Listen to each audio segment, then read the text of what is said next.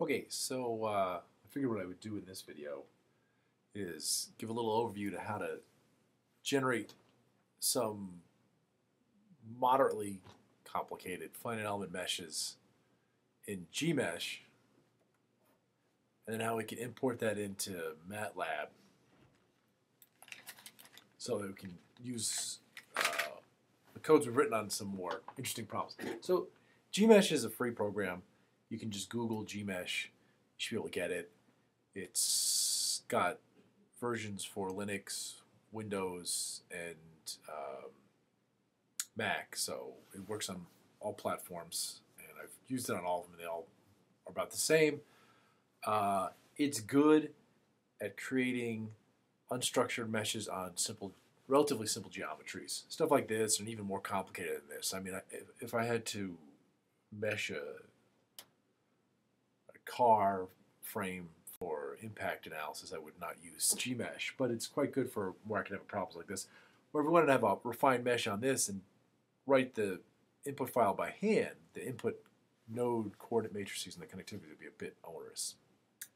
So what I'll do in this one is I'll kind of take you through generating the mesh on this in Gmsh. We'll talk about some of the concepts in Gmsh like physical uh, IDs, and uh, then we'll use uh, a couple of MATLAB routines that I've written that will import the Gmsh file into MATLAB as node coordinate matrices and connectivity matrices. Okay, so we'll consider this simple geometry here, and also I'm going to take note that we're going to have a boundary on the top edge where we're going to enforce an essential boundary condition.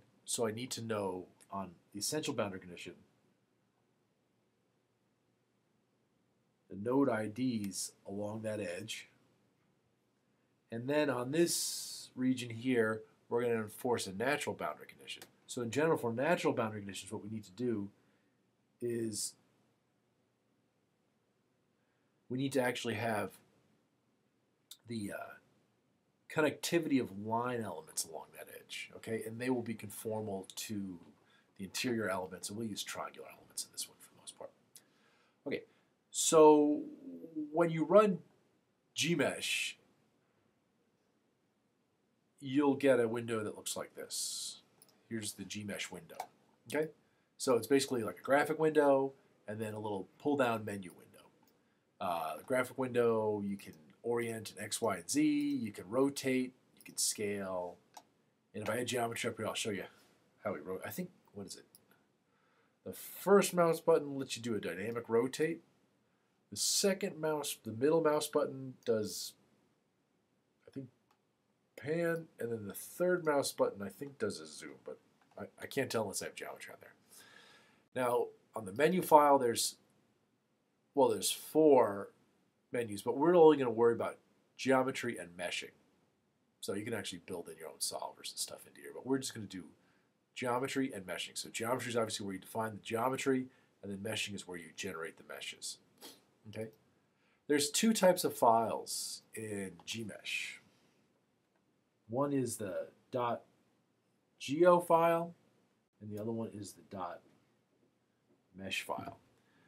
Both of these by default are text files or ASCII files, so you can read them with a text editor.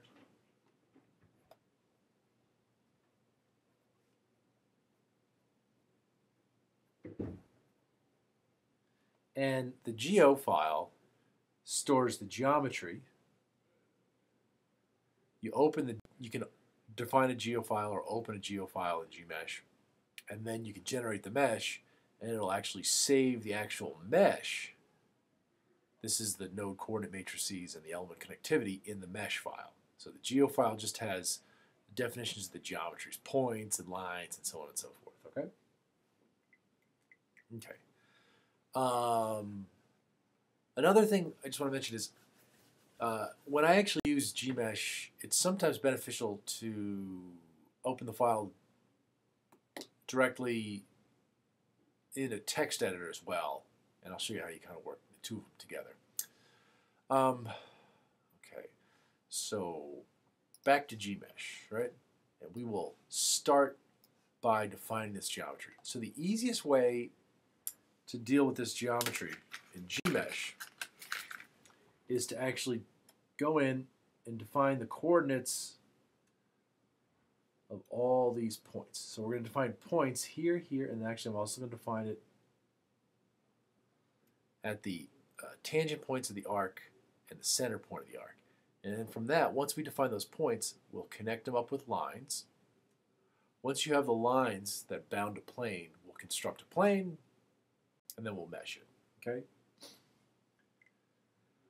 So when we, uh, so let's let's just start defining the points, and, and I'm not sure what order I want to do it. Maybe I can push this up a little bit, keep that on the page, and then resize this window so it sits on here. And that should all be in the, okay, so that'll work. So let's just start here. We'll call this um, the x-axis, and then going up here, the y-axis, okay? So that'll put this intersection point there at 0, 0. So let's just go through and start calling this 1, 2, 3, 4, 5, 6, 7, and 8. So those are the points we're going to use. So we're in geometry. We're going to add an elementary entity. These are points, lines, so on and so forth. Add a new one, and it's going to be a point. All right? So when you bring that up, you get this sort of point box. You can actually move around and pick points in space, but it's easier to just type in. So the first point here is at 2, 0, 1. So the x-coordinate is 2, the y-coordinate is 0, and the z-coordinate is 0. Now there's another space here for a characteristic length, all right? Now this is kind of important actually. The characteristic length, when Gmsh goes to generate a mesh, how you, one way, uh, in the most simple way, the easiest way, the way I usually do it, to, to dictate what the size of the element is, is through the characteristic length. So each point, if you will, has a characteristic length associated with it. And it will, you know, if they change, it'll smoothly grade the mesh so that in the region of those points, you'll roughly have those size elements. Okay. So we'll call it, let's make a mesh where the element size is like 0.25. Okay, so we'll do a quarter. All right, so we're going to add that. All right, now there's that point. Okay, so that's the first point. Let's put the second point in. That's going to be at 5, 0, 0, same characteristic length. We're going to add that. That's the second point. The third point is at 5, 2. Then we go back to the fourth point. That's at 0, 2. So we add that. And then we're at 0, 1 for the fifth point. Ah, if I move off, I get screwed up. So it's 0, 1, 0. That's 0.25. We add that. Now, point 0.6, the tangent point on that curve, has an x-coordinate of um, 1.5, right? So it's 1.5. The y-coordinate is 1. There we go. Point 0.7 has a y x-coordinate of 2, a y-coordinate of 0.5.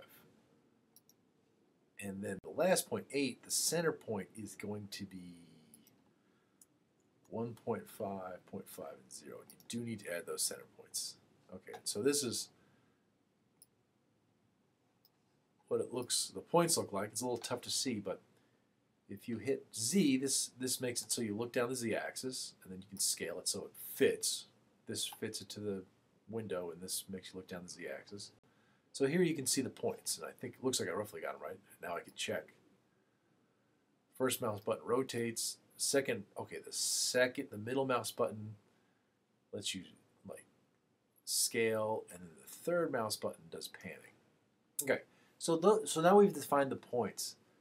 The last thing we'll want to do, the I'm sorry, the next thing we'll do is, is connect those points with lines and arcs. Uh, I should probably mention here that also if you look here, it gives you a little feedback on what to do and also down here. All right, now before we start adding the lines, actually I'm going to open up, I'm going to save this file and then open up the geometry file. Actually, I've already saved it as, uh, you can see here's my path, example of geometry. Let me mention something. In general, when you open up Gmsh, it'll open up like an untitled file and it'll be somewhere, it'll have some path somewhere on your drive. I'm not sure exactly what. When you want to do uh, the save, to save it, initially, there's save as, but actually you want to use rename. Because rename, it's a little confusing, but rename basically takes the file you're working with currently and then gives it a new name and you continue to work on that file. If you do save as, it'll it's like an, it saves it as another name, but you're continuing to work on the original file. That's a little so norm, normally you want to do rename. After you do rename, you can do save as. That makes any sense, or you can just keep doing rename. All right, so let's open up this file now. Uh, let's go to my text editor. Here's the text editor I used. You can use whatever you want. You can use Notepad. And we're going to open up that file.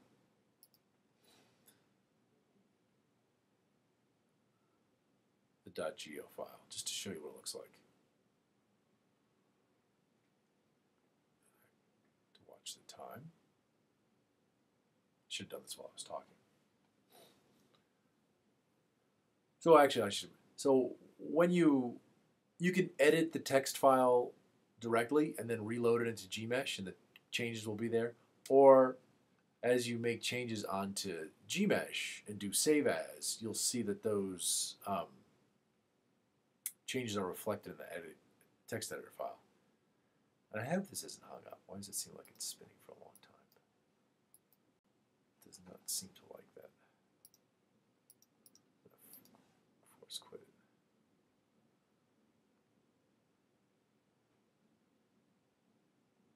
Well, while it's waiting to do that, let's look at some of the other things. in Gmsh. All right. Ah, so what I was going to say is actually, you also see you have these parameters. So the nice thing about Gmsh is actually you can define parameters to define a bunch of other things like they're, they're just variables. So actually, I usually use one to define the mesh size. And then you can refer to this parameter name, like LC, down here when you do the points. The nice thing about that is then you can just change the one parameter and uh, it'll update, you know, you can change the mesh size easily. You can also use this to define variables for the geometric dimensions and then you, you have sort of a parametric type of file. And this is not loading. This is really